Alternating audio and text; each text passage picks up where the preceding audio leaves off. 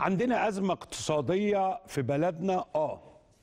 عندنا أزمة اقتصادية باعتراف السيد رئيس الجمهورية باعتراف كل المسؤولين بدليل الحزم الاجتماعية اللي بتقدمها الحكومة للمواطنين محدود الدخل. قد تكفي وقد لا تكفي ولكن أهي نوايا تسند الزير. الأزمة جزء منها محلي سبب منها محلي وجزء منها عالمي. وإحنا في هذه الأزمة يعاني قطاع ليس بالقليل من المصريين معاناة شديدة جدا في تدبير لقمة العيش اليومية في تدبير الثلاث وجبات إن لم تكن الوجبتين هنا لما انت تكون أمام شعب بيعاني من أزمة اقتصادية حادة غير أزمة 2016 يبقى الجميع لازم يراعوا حاجات كتيرة جدا. الجميع ده اللي هو كل مسؤول عليه أن يزن كلامه وتصريحاته بميزان من ذهب. ما يطلعش تصريحات تستفز الناس لأن الناس على آخرها. وقلت لك أزمة اقتصادية.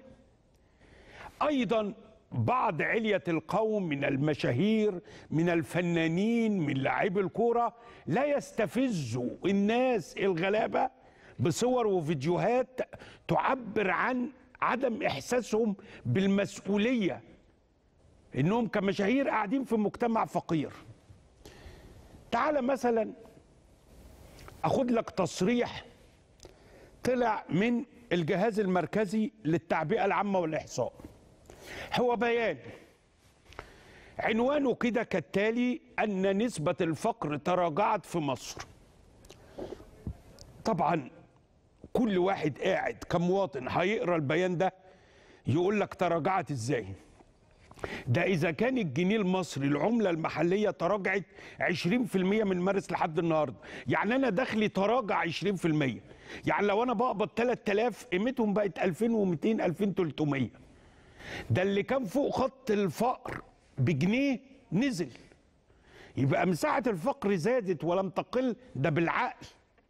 وبسبب أيضا التضخم وبسبب انخفاض قوة الجنيه. وأنت تتابع التصريح الذي نقلته وتناقلته كل المواقع الإخبارية تجد أن الجهاز المركزي للتعبئة العامة والإحصاء يتحدث عن تراجع الفقر في عام 19 20 وليس العام الحالي 22 لكن عنوان طيب هل أنا كمسؤول في الجهاز المركزي للتعبئة العامة والإحصاء هل أنا محتاج أطلع مثل هذا التصريح؟ ما هيستفز الناس. الناس مش هتقرأ تفاصيل الخبر وتقول لك تقول لك إيه الفقر واللي تراجع؟ ده إحنا طالع عين أبونا ده مساحة الفقر زادت. النهارده انت لو بتتصل بخالتك في البلد كنت بتديها 200 300 جنيه تقول لك جاي زودهم للضعف لو انت بتعول اي حد من الغلابة بيقول لك جاي إذا الدنيا في غلاء. يبقى أنا كمسؤول عليا إن أنا راعي المشهد أكون دقيق في تصريحاتي أسأل نفسي هل التصريح ده يستفز الناس ولا ما يستفزهمش؟